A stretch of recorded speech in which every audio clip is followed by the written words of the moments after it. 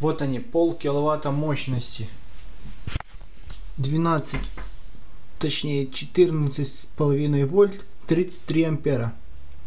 Причем я эти цифры взял не из пальца, а реально высчитал относительно нагрузки на выходе. Транс, ну, здоровезный.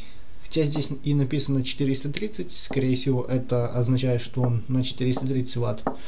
Но здесь присутствует солидный такой запас. Судя по моим расчетам, опять же. Вот. Здесь вот 14 с половиной вольт, а здесь просто отвод средней точки. То есть ровно половина. Вот здесь, вот здесь. Это по сути один и тот же провод. Просто так выведен, чтобы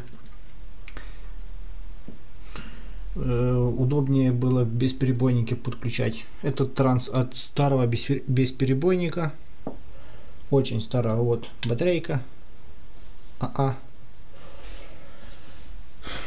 Проработал он у меня уже, наверное, часов 20. Теплый. Чисто я его сделал. Чисто я, я ему сделал вот такой вот тест. Не будет ли греться. Современные, то там не доматывают несколько витков или несколько десятков витков. И они из-за того греются. А здесь еще запас хороший. Как гудит, наверное, вам уже не будет слышно.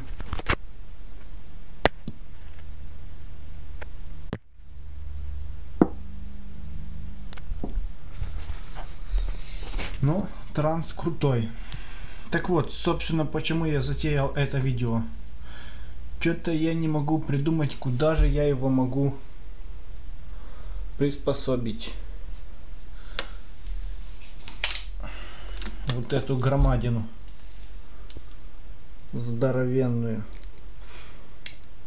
Только не пишите мне, что э, какой-нибудь инвер инвертор из 12 на 220. Это слишком банально для меня. Вот, я думал сделать из него лабораторник, но 14,5 вольт это, конечно, для лабораторника мало.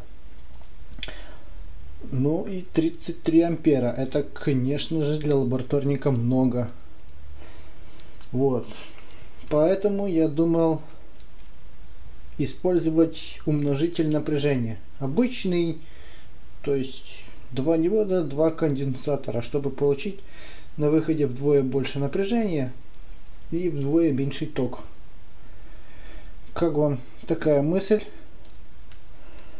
Тем самым я получу около 30 вольт на входе, точнее около 30 вольт на выходе, чего 30 вольт и 15 ампер чего более чем достаточно для очень крутого лабораторного блока питания. Ну, как вам такая идея? Да и, собственно, я давно уже не показывался на камеру.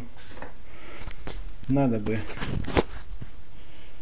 Ну вот, как бы такие вот мысли в субботу в обед.